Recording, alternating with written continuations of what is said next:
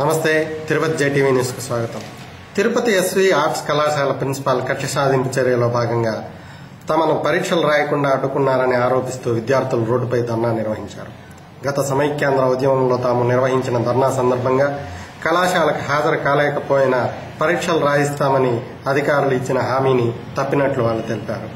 తిరిగి మమ్మల్ని పరీక్షలు రాయించి తాము ఉన్నత స్థానాలకు వెళ్ళడానికి అవకాశం కల్పించాలని వాళ్ళు కోరారు ఈ రోజు ఈ చేయడానికి గల కారణము ఈ కళాశాల ప్రిన్సిపాల్. ఎందుకంటే ఆయన కొన్ని సంవత్సరాలుగా కొన్ని నెలలుగా ఈ కళాశాల విద్యార్థులతో ఆయన చెలగాటం చేస్తూ వారి జీవితాలతో ఆడుకుంటున్నాడు. పోయిన సంవత్సరము సమైక్యాంధ్ర ఉద్యమంలో భాగంగా మేము మమ్మల్ని ఆయన రెచ్చగొట్టి ఉద్యమాలు చేయండి రోడ్లపైకి వెళ్ళండి బస్సులు బంద్ చేయండి అని చెప్పి చేసిన తర్వాత మీకు అటెండెన్స్ షార్టేజ్ ఉంది. సెవెంటీ ఫైవ్ పర్సెంట్ తక్కువ ఉండాలి కదా ఎగ్జామ్ రాని నేను.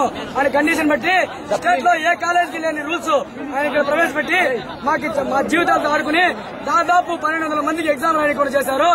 ఓకే సార్ ఆయన అడిగినందుకు ఆయన మాకు పరిష్కారం చెప్పారు. ఇప్పుడు ఎగ్జామ్ రానియను సప్లిమెంటరీ అయిన తర్వాత అవకాశం ఇస్తాను మీకు అని చెప్పారు. తర్వాత ఈ సంవత్సరము మేము వెళ్ళి ఆయన పరిష్కారం అడిగితే వద్దు నేను సప్లిమెంటరీకి అవకాశం ఇవ్వను. ఏ క్లాస్లో కూర్చున్నారు? తిరిగి అదే క్లాస్లో కూర్చొని చదవాలి.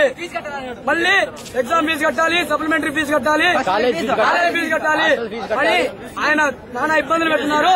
కాలేజీలో ఈ హిందూ ధర్మస్థల ఒక టీటీడీ కాలేజీలో ఆయన క్రైస్తవ మతస్థుడు క్రిస్టోఫర్ అనే వ్యక్తిని రాజకీయ పరంగా ఈ కాలేజీలో ఆయన్ని పెట్టడము చాలా రాజకీయ పరంగా